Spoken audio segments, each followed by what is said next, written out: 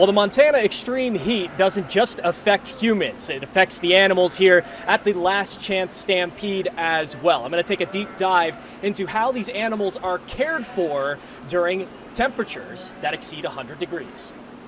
It is very hard to care for livestock in general, but when adding extreme weather to the mix, the 4 H members participating in this year's events at the Last Chance Stampede must consider new challenges.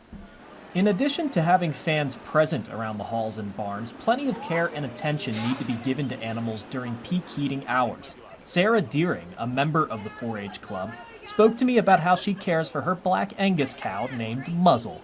I'm making sure their water is always clean, making sure it's cool, and making sure that they are washed up most times that they are getting hot. Other individuals I spoke with added that they altered the feeding times of their cattle to cooler parts of the day, like early in the morning or late at night, to reduce overall stress and improve health by limiting their caloric intake.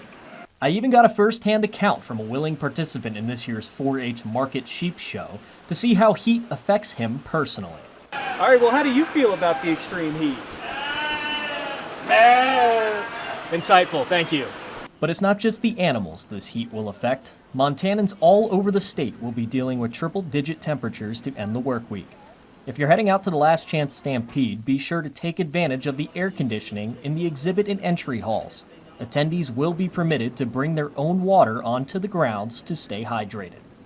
Reporting in Helena, meteorologist Joey Bianconi, MTN News.